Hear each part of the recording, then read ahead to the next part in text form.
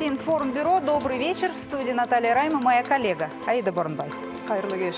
Смотрите сегодня. Последствия послаблений. Больше 280 новых случаев только за сутки. имеется очаг э, значит, заражения. Почему произошел всплеск?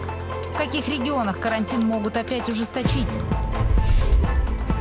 Прошу объективного расследования. Почему жительница Алматы винит врачей роддома в халатности? Хорошая, доношенная девочка. Как так вышло, что новорожденная скончалась на вторые сутки после родов? Дебашир в погонах. Почему полицейские прекратили уголовное дело против старшего лейтенанта? Какая нам разница, полицейский это или не полицейский? Как чувствует себя его супруга после побоев? В безопасности ли она сейчас? Отпуск на море. Турция готовится к приему туристов. Мы планируемся открывать отель с 1 июля. Каким образом учтут все санитарные правила? И изменятся ли цены? А тем временем в нескольких регионах республики уже задумались над тем, чтобы вновь ужесточить карантинные меры. Этот вопрос очень актуален для столицы. Власти обеспокоены тем, что люди не соблюдают санитарные правила, особенно в общественном транспорте. Накануне даже появилась информация о том, что движение могут приостановить. Зарина, случилось ли это?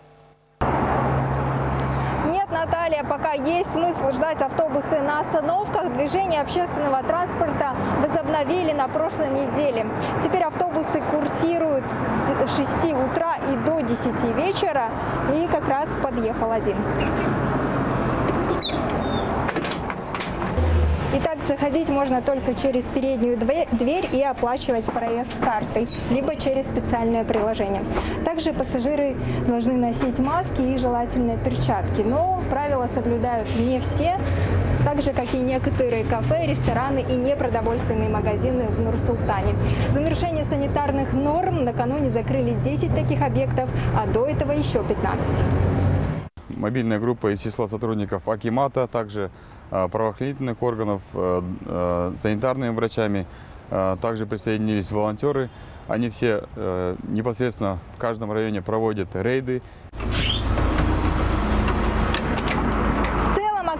и автолюбители, и пешеходы. Это было заметно всю прошлую неделю. Возможно, и сегодня людей было бы больше, но от выхода на улицу удерживает дождливая погода, но никак не карантин. А к чему привело послабление карантина в Карагандинской области? Людмила? Зарина, у нас в регионе выявили сразу 18 новых случаев за прошедшие сутки. Это большой прирост. Власти предупреждали, что могут э, ужесточить карантинные меры при ужесточении ситуации. Но сегодня, к сожалению, все меньше людей надевают маски. Это при том, что в Караганды наблюдается ажиотаж в двух местах. Это на водоемах и в крупных торговых центрах. А, рыбаки особенно болезненно восприняли изоляцию. Они никак не могли понять, почему их так долго не выпускают к воде. Ведь рыбалка изначально подразумевает уединение на природе. И вот с сегодняшнего дня, наконец, разрешили охоту и рыбную ловлю а, по всей области, кроме Тимиртау и поселка Батакара. Купальщиков пока нет, вода еще очень холодная. А, сегодня же открылись э, бутики и бутики одежды, обуви и других непродовольственных товаров на первых этажах торговых э, центров и уличные рынки. Индира, у вас в Восточном Казахстане какова ситуация после послабления режима? Я бы описала ее одним словом, расслабленно. Люди не могут нарадоваться тому, что власти наконец отменили систему пропусков. Напомню, по ним передвигаться по городу можно было только по четным или нечетным дням. А напряжение было таким сильным, что грозило взрывом. Активисты уже готовили иск в суд, подписывали петицию с требованием смягчить режим. Но после того, как власти отменили пропускную систему, э, людей словно вынесло на улицы. И куда же первым делом отправились жители Усть-Каменогорска? Наталья, как и повсюду, бросились покупать себе одежду и даже выстраивались в очереди. Также усть-каменогорцы отправились с детьми в зоопарк, на игровые площадки. Вот и на городских рынках снова не протолкнуться. Ажиотаж такой, что о социальной дистанции и других мерах предосторожности говорить совсем не приходится. Поэтому, конечно, есть риски, что такая свобода может обернуться сейчас новыми случаями или даже вспышкой заболеваемости. Спасибо, Индира. Думаю, тебе не стоит находиться в таком людном месте. Побыстрее возвращайся домой, здоровой, к своим близким. Наши корреспонденты рассказали о том, как казахстанцы ведут себя после послабления карантина и чем это может обернуться.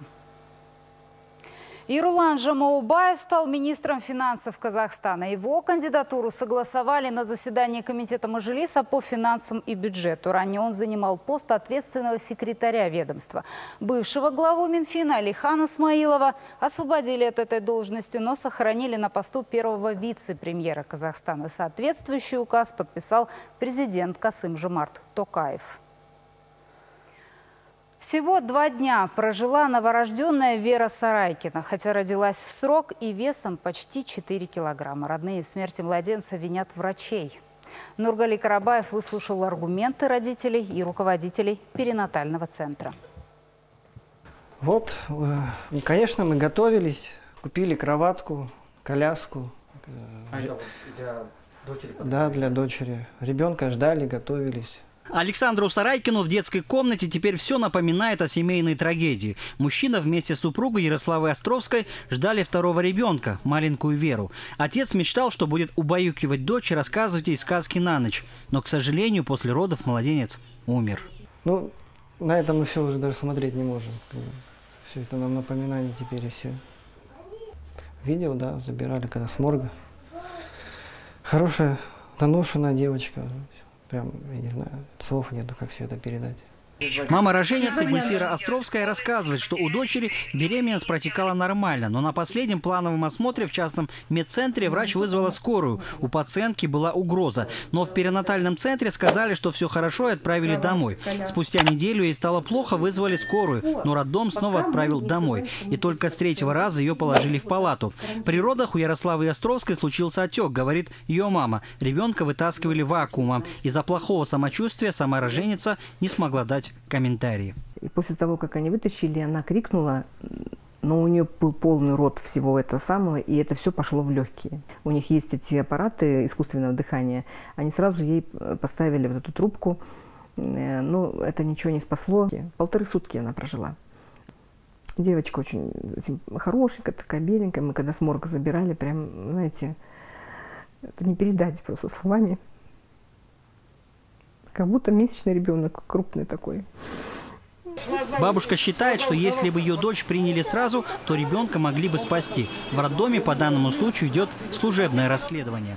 Мы ждем патологоанатомического диагноза, а после этого будет дан подробный анализ и заключение. На данный момент э, больше комментариев мы давать не будем. Единственное требование родителей сейчас, чтобы расследование было объективным. Если смерть ребенка произошла из-за халатности врачей, то виновные должны понести наказание. Нургали Карабаев, Геннадий Лукин, Информбюро, Алматы. Асель Алканова из Уральска требует у своего супруга полицейского компенсацию за вред, причиненный здоровью. Женщина уверяет, что муж в состоянии алкогольного опьянения избил ее на глазах у трехлетней дочери.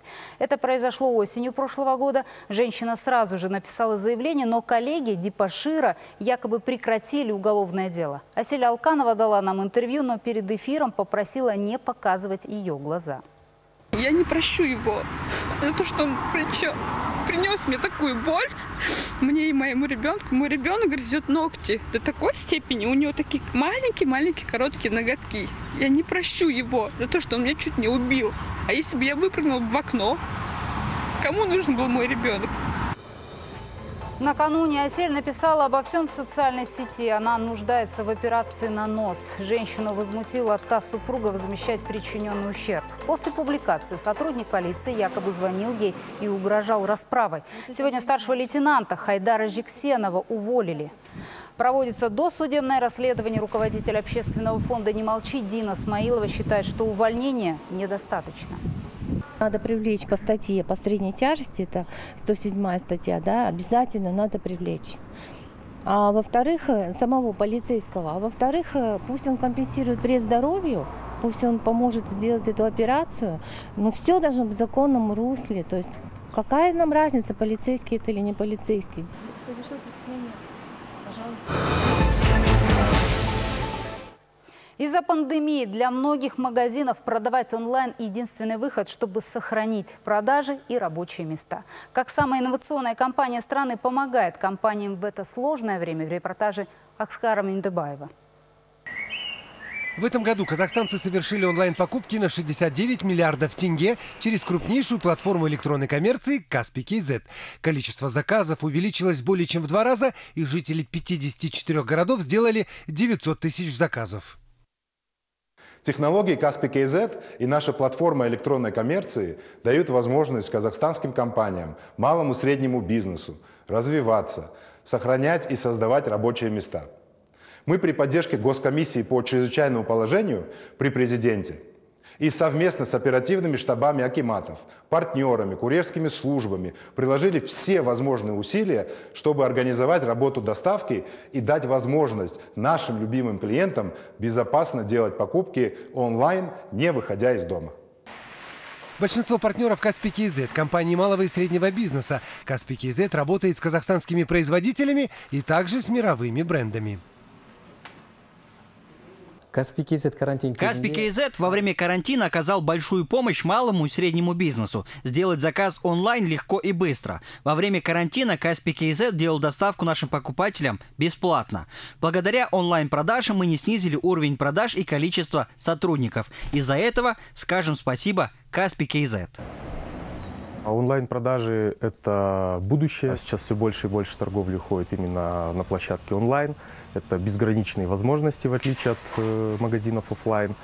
И, безусловно, я думаю, что Каспий уже заслужил полное стопроцентное доверие для покупателей. Доход, который мы получали через онлайн-торговлю с помощью Каспий KZ, помог нам пройти этот период э, немножко легче. Мы не ушли в минусы и смогли сохранить заработную плату нашим сотрудникам, никого не сократив. И это помогло э, нашему бизнесу продержаться на плаву. Доставку до дверей по всей стране Каспий KZ организовали совместно с ведущими курьерскими службами. Во время карантина были, конечно же, сложности, но мы оперативно эти вопросы решили. И за апрель месяц мы достали 39 тысяч посылок Каспий KZ до конечного получателя по всему Казахстану. От города Алматы, заканчивая самой отдаленными регионами. Безусловно, Каспий вывели на абсолютно новый уровень интернет-торговли в Казахстане. Мы видим развитие не только э, самого Каспия, мы видим развитие партнеров, что это немаловажно для мелкого и среднего Э, бизнеса в целом Казахстане. Текущая ситуация ускорила развитие электронной коммерции. У покупателей стало больше возможностей для удобных и безопасных покупок. А у малого и среднего бизнеса перспективы роста. Электронная коммерция дает новый сильный стимул для роста экономики, развития бизнеса и создания новых рабочих мест. Оскар Миндыбаев, Геннадий Лукин, Информбюро, Алматы. Вы смотрите новости Информбюро. В социальной изоляции уже много лет находится труженица тыла в Шимкенте. Просковья Скриникова пережила блокаду в Ленинграде и теперь уверена, что они все забыли. Родных у женщины не осталось и сейчас в преклонном возрасте, кроме как саму на себя, ей рассчитывать не на кого. Александра Ким расскажет подробнее. Опираясь на швабру, Просковья Скринникова с трудом передвигается по квартире. Осколочные ранения и перенесенные болезни дают о себе знать. 85-летний ветеран тыла уверяет, что ей давно перевалило за 90. Просто документы были утеряны еще во время войны, восстановились с измененной датой рождения. В 1942 году Просковью Егоровну с госпиталем эвакуировали из блокадного Ленинграда в Казахстан. Много лет она прожила здесь одна, никого из родных не осталось. И словно она снова в блокаде, только на этот раз в социальном официальный. Никто не поздравляет. Даже я тебе говорю, как блокадницу на день снятия блокады 27 января, это святой день, никто, никакой соцработник не приходил. Хотя я на время я требовала, даже скандалила. Я знаю, это все бесполезно. Чтобы ходить к ним, это надо быть здоровым. Инвалиду второй группы приходится все делать самой, оплачивать коммуналку, покупать продукты. Здоровье бабушки необходимо, и чтобы получить пенсию, приходится нанимать такси, иногда простаивать очередь. Ей нужно обратиться в Собес, предоставить справку о том, что да, она не может ходить, что она недееспособна по состоянию здоровья. Потом Собес этот список направляет нам. Мы уже видим фамилия, адрес, сумма, и мы эти суммы уже относим домой. В Управлении занятости и социальных программ сообщили, что вопросом доставки пенсии на дом занимается корпорация правительства для граждан. Ветерану тыла необходимо обратиться к ним с заявлением и соответствующими справками. В управлении признались, о тяжелом положении Прасковьи Скринниковой слышат впервые. Даже в базе блокадников ее нет. Специалисты утверждают, что выявлять одиноких стариков не входит в их обязанность. Районные акиматы должны были это это, с этой бабушкой, естественно, отработать э, в преддверии эти 75-летия. Вот. Если бы дали нам сигнал, бы, естественно, мы бы это отработали сами бы, без вас. Вот. И, э, сходили бы домой, сходили бы, узнали бы, помогли бы со справками, со всеми документами. Возьмем мы ее на учет. Просковья Егоровна говорит, что боится так и не дождаться помощи и участия, но очень надеется. Александр Ким, Виталий Заентинов, Информбюро «Шимкент». Об отдыхе у моря сейчас мечтают многие казахстанцы. Но как сложится отпускной сезон, с уверенностью никто не может ответить. Несмотря на это, в Турции готовятся к наплыву туристов. Там планируют заполнить отели на 60%. На курортах ввели особые правила. И все, кто рискнет отправиться на Средиземное море, должны следовать им неукоснительно. Отныне главное на отдыхе – это расстояние. Оскар Миндыбаев расскажет, что нужно знать, выезжая на курорт. Коронавирус внес свои коррективы в сезон отпусков. Теперь, если вы решите съехать к морю, нужно помнить о новых правилах, которые вводят многие отели мира. К примеру, всеми излюбленная Анталия. Повсюду установят санитайзеры и специальные системы дезинфекции. В гостиницах усилят систему кондиционирования. Номера будут ежедневно обрабатывать специальным раствором. Обрабатывать будут также все от дверных ручек до кресел на всей территории гостиничных комплексов. Изменения коснутся и ресторанов. В ресторанах столики должны быть расставлены на расстоянии полтора метра. При этом расстояние между стульями за столом составит 60 сантиметров. Эти правила не коснутся семей за одним столом, поскольку они уже и так контактируют друг с другом. Всеми любимый All Inclusive останется. Теперь пробежаться с тарелкой и быстро наполнить ее выбранными лакомствами не получится. Всю еду будет накладывать персонал в перчатках и масках. Здесь, как и всюду, нужно соблюдать дистанцию. С пляжем еще окончательно не решили. Известно, что шезлонги поставят на расстоянии не меньше трех метров друг от друга. Температуру будут замерять на протяжении всего отдыха. Всех, у кого появятся признаки заболевания, разместят в специально отведенной карантинной зоне. Планируемся открывать отель с 1 июля. С 1 июля уже, скорее всего, а, многие страны уже будут выпустить международные рейсы. Каждому туристу могут делать э, тесты коронавируса э, в аэропорту. Это тоже э, сейчас э, обсуждается в Турции. Также в столовых и холлах не будут работать аппараты для чая, кофе, соков. СПА-процедуры будут оказывать только те отели, которые имеют сертификаты о медтуризме. Информацию о правилах гигиены в условиях пандемии будут транслировать по отельным телевизорам. От отдыхающих могут потребовать справки о хронических заболеваниях. Планируется, что отели откроются уже в июне, однако им всем теперь предстоит пройти специальную сертификацию. Она включает более 100 параметров. Стоит помнить, что риск сохраняется не только в отеле, но еще и в самолете и в аэропорту. Во всех случаях необходимо соблюдать дистанцию и носить маски. Туроператоры обещают не поднимать цены на отдых. Аскар Медыбаев, Сергей Шуйский, Информбюро, Алматы. Турция не единственная страна, где готовятся принимать туристов. В Черногории с сегодняшнего дня открываются общественные пляжи, рестораны и кафе. Всем прибывающим будут делать анализ на наличие COVID-19 и, возможно, даже бесплатно. Во Франции сегодня правительство приступило к разработке плана скорейшего возобновления работы туристического сектора и поддержки индустрии. Кстати, пляжи Ниццы уже открылись в минувшие выходные. Жителям города разрешено купаться в одиночку, но вот загорать на песке или распивать алкогольные напитки по-прежнему по-прежнему запрещено. Я несколько раздражен. Утром нам разрешили плавать, наслаждаться морем, чего мы не могли желать два месяца. Но загорать и отдыхать на пляже нам нельзя, к сожалению. Так что это полусвобода, если можно так сказать. Европа по-прежнему в лидерах по ослаблению карантинных мер. В Италии с сегодняшнего дня открываются бары, кофейни, парикмахерские салоны. В храмах возобновляются службы, но прихожане обязаны носить маски и сохранять дистанцию. В Испании для жителей сегодня тоже снят ряд ограничений. Им разрешено собираться группами до 10 человек, но в таких городах, как Барселона, Мадрид и регионы Кастилия и Леон, эти послабления не действуют. Бары и кафе могут принимать посетителей, но только на верандах. Кстати, в Германии, в Берлине открылись рестораны со строгими ограничениями. Каждая из 16 федеральных земель сама определяет, когда и как принимать меры. И Берлин оказался практически последним в этом списке. Я переживаю. Мне очень интересно, как гости будут себя вести, как мы будем себя вести, как мы будем действовать в этой ситуации. Это очень волнительно для всех нас. Владельцы и сотрудники должны носить маски и дезинфицировать столы после каждого клиента, а также обеспечивать безопасную социальную дистанцию между ними. В Бельгии сегодня открылись начальные и средние классы в школах. Ограничения частично снимут в Португалии, Греции, Дании и Ирландии. Что касается Соединенных Штатов, то с сегодняшнего дня в некоторых штатах открылись тату-салоны, тренажерные залы, бары и другие места, которые несовместимы с социальной изоляцией. А вот в России за последние сутки выявили свыше 9 тысяч новых случаев заражения коронавирусом. В стране второй день подряд фиксируется меньше 10 тысяч заболевших. Но несмотря на то, что темпы прироста замедлились, в карантине россиянам придется жить довольно-таки долго. Стало известно о методах борьбы со вспышкой коронавируса на месторождении Тенгиз. Ранее один из рабочих пожаловался на то, что, по его мнению, работодатель не предпринимает достаточных мер по предотвращению распространения COVID-19.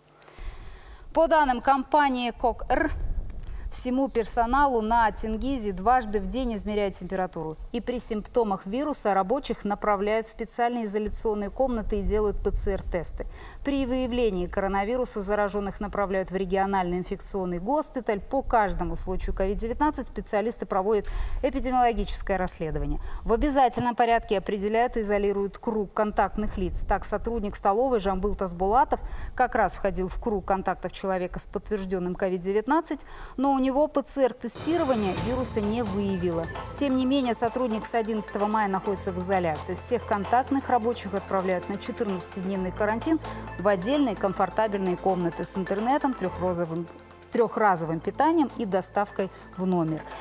В течение всего времени изолированным, так и остальным рабочим на месторождении выплачивают повышенную заработную плату, но решение об изоляции принимают не по желанию самих рабочих. Для этого требуется заключение специалистов согласно протоколам и требованиям государственной санитарной службы. В КОКР особо подчеркнули, что защита здоровья людей – главный приоритет компании, а также поблагодарили своих работников, которые уже более двух месяцев добросовестно трудятся на месторождении. Власти Шимкента решили воздержаться от послабления карантинного режима по некоторым пунктам. Как сегодня стало известно, что ранее принятое решение об открытии летних площадок кафе пересмотрели. Пока закрытыми для посещения останутся мечети и церкви. С посиделками в кафе и поездками за город придется повременить. Власти решили оставить блокпосты на границе Шимкента и Туркестанской области. Дальнейшее облегчение э, карантинных мер да, они до эпидемиологической ситуации да, приостановлены. На этот момент в Шимкенте выявлено 404 случая заражения коронавирусом. 60 из них новые, лабораторно подтвержденные. 183 уже выздоровели. Всего в стационарах находится 216 человек с COVID-19. Из них 150 с бессимптомными проявлениями. Врачи уверяют, что места на случай роста заболевания еще есть, но просят горожан быть ответственными. Здесь, э, если мы будем этот, как вот, э, в таком темпе э, не соблюдать, то есть этот, как все требования карантина, мы можем этот, как вот, долгое время еще находиться в карантинном режиме. В связи с чем давайте будем этот как вот благоразумны и соблюдать все санитарно-противоэпидемические режимы, этот как вот, которые требуются, этот как вот элементарные вещи это все. Сейчас в Шимкенте плановое тестирование проходят люди из группы риска. Это медработники и горожане, состоящие на диспансерном учете с хроническими заболеваниями. На этот момент карантин в Шимкенте продлен до 25 мая. Асим Караулова, Виталий Заинтинов, Информбюро, Шимкент.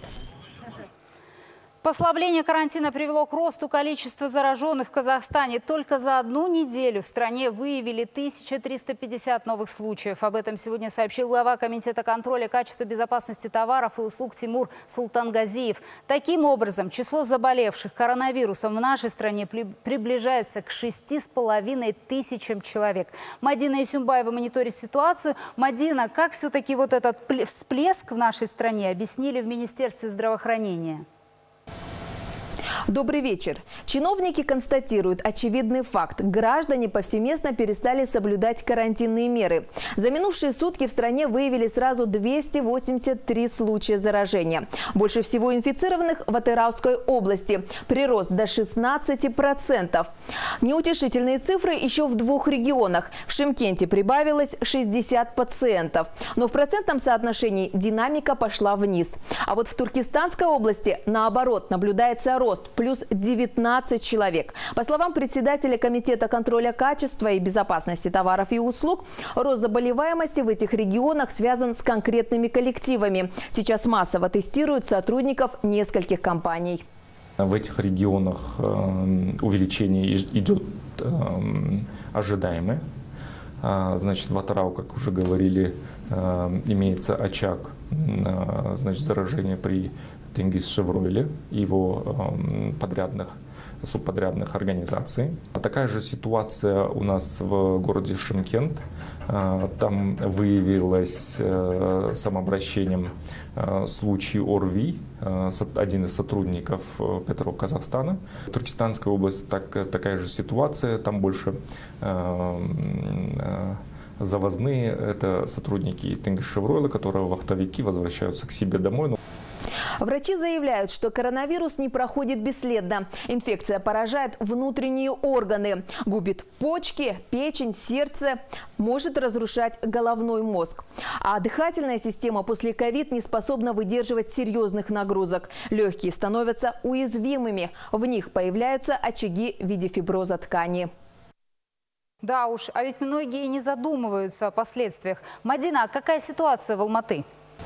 За сутки в мегаполисе выявили 46 новых случаев. Это много или мало? Думаю, что сейчас всех алматинцев больше всего волнует вопрос, будут ли власти вводить очередной этап послабления. Это немного для такого мегаполиса. Бывало и 90 с лишним случаев за сутки. Поэтому ослабление карантина продолжит вводить, как запланировали ранее. Уже со следующего понедельника, 25 мая, в мегаполисе, возможно, заработают торговые центры, кафе, до 23.00, а также гостиницы. Развлекательные центры, спа, фитнес-клубы на территории ТРЦ останутся закрытыми. На объектах общепита расстояние между посетителями должно быть не менее двух метров. За столом разрешается присутствие четырех человек. Это не касается членов одной семьи. А вот банкеты, торжества на этом этапе останутся под запретом. И еще хочу обратить внимание на одну очень важную информацию. Казахстанские ученые разработали разработали вакцину против коронавируса. Сейчас ведутся доклинические испытания. Об этом сообщила пресс-служба Министерства образования и науки. А ВОЗ внесла Казахстан в список разработчиков вакцины от COVID-19. Действительно хорошая новость. Мадина, ждем от вас в ближайшее время подробная информация об испытаниях этой вакцины. Мадина Исюмбаева рассказала о ситуации с ковид в Казахстане.